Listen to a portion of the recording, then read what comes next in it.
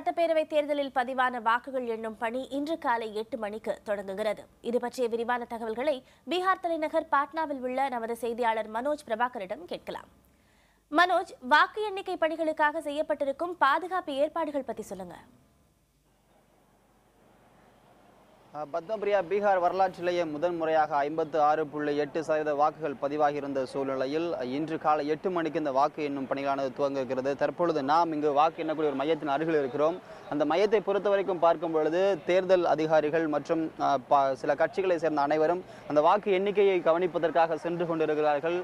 மொத்தமாக பீகாரை பொறுத்த வரைக்கும் பார்க்கும் பொழுது ஆயிரத்து நானூற்று ஐம்பது காவலர்கள் இந்த பணிக்காக அமர்த்தப்பட்டிருக்கிறார்கள். இது மட்டுமல்லாது காலை எட்டு மணிக்கு தூங்கக்கூடிய அந்த வாக்கு எண்ணிக்கையில் முதலாவதாக தபால் ஓட்டுகள் எண்ணப்படுகிறது. அதனுடைய முடிவுகள் ஒன்பது மணிக்கு தெரிந்துவிட வாய்ப்பு இருக்கிறது. அதனையடுத்து அடுத்தடுத்த கட்ட முடிவுகளும் தெரிவிக்கப்படும்.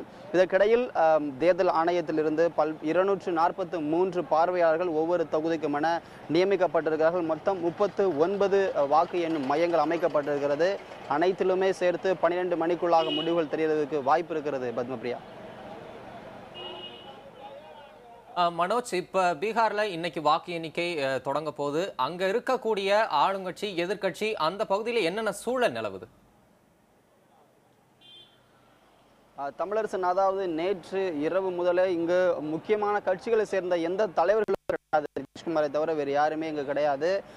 ஏனெனில் சமீபத்திய அந்த தேர்தலுக்கு பிந்தைய வாக்கு எண்ணிக்கை கணிப்புகளானது தெரிவிக்கும் பொழுது பாரதிய ஜனதா கட்சியினுடைய கூட்டணிக்கும் அதே போல மெகா கிராண்ட் அலையன்ஸ் என்று சொல்லக்கூடிய நிதிஷ்குமாருடைய கூட்டணிக்கும் இடையே ஒரு இழுபறி சூழல் நிலவும் என்று தெரிவிக்கப்பட்டிருந்தது. அதனுடைய நிமித்தமோ என்னமோ இங்கு யாரையுமே காணவில்லை என்றே தெரிவிக்க வேண்டும். முக்கியமான சில பேர் அது சுஷில்குமார் மோடி மற்றும் ஐக்கிய ஜனதாதளத்தை சேர்ந்த தலைவர்கள் என சிலரை தவிர முக்கியமான தலைவர்கள் யாருமே கிடையாது.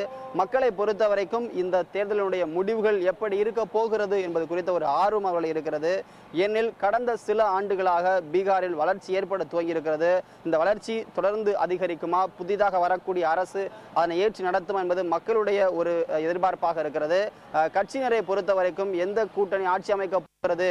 மோடி வருவாரா நிதிஷ்குமார் வருவாரா என்பது குறித்து அவர்களுடைய எதிர்பார்ப்பு ஒரு பக்கம் இருக்கிறது. ஆனால் மொத்தமாக கட்சிகளை பொறுத்த வரைக்கும் கொண்டாட்டங்களுக்கு இதுவரைக்கும் ஏற்பாடு செய்யப்படவில்லையாம். அஹ், முடிவுகள் வருவதற்கு பின்புதான் அதற்கான கொண்டாட்டங்கள் துவங்கும் என்றும் சிலர் தெரிவித்திருக்கிறார்கள் தமிழரசன்.